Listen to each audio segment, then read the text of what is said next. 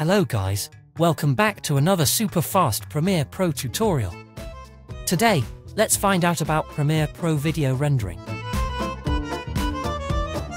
When we're about to add effects to our clip, it's often impossible to play your video in real time.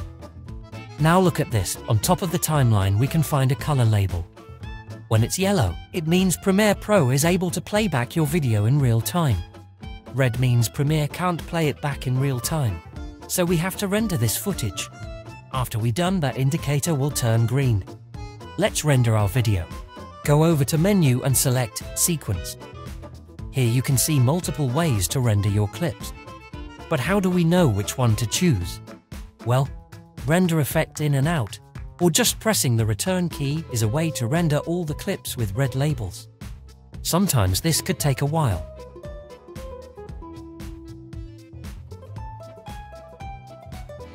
If you have trouble playing back the yellow labeled clips, you could also choose from the sequence menu, render in and out. When you don't have a selection in your timeline Premiere, will just simply render everything. If you want to render just the selected clip in your timeline, highlight your clip and head over to menu and select sequence.